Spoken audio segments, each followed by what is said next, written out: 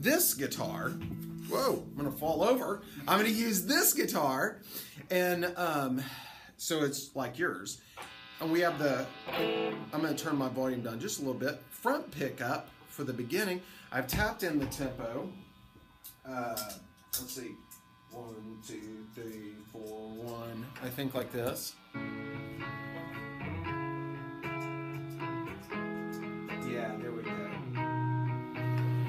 Okay, so just like that, and then we're going to go through the chords. Now, when we go to the chorus, hit that back, okay, and that's when you turn on the overdrive, okay? There you go. There you go, okay?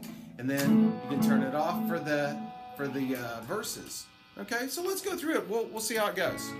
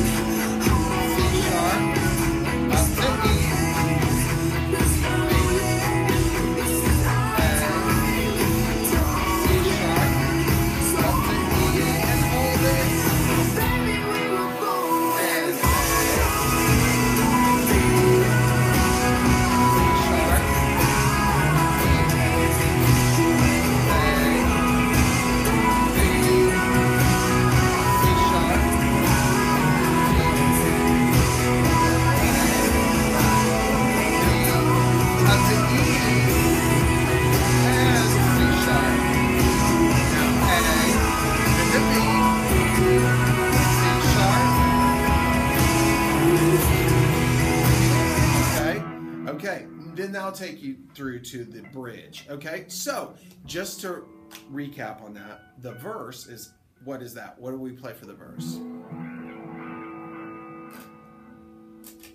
And then what's the next chord? Good. And then E, and then what? B, and then back to A,